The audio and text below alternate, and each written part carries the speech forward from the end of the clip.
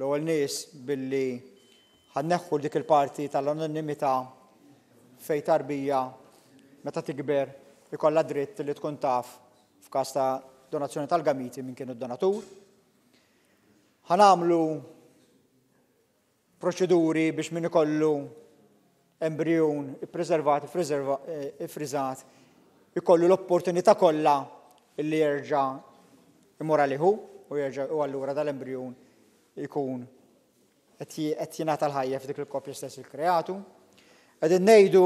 li fejn ħajkun hemm l-adozzjoni ta' embrijuni Biex l-embrijuni kollha jingħataw l-opportunità li jiżviluppaw, ħa jkun hemm dal-bord imwaqqaf illi ħa jara s-suitability tal-ġenituri prospettivi. Jiena ħa nkun qiegħed nipproponi illi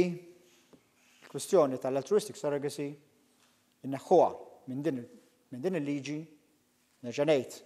li għadha l-intenzjoni tagħna bħala Gvern illi nagħmluha, ma nagħmluha f'Bill separat biex nkunu nistgħu niddiskutuh b'mod separat, nivvutaw fuqu b'mod separat u jkun ma tkun xi ħaġa illi hija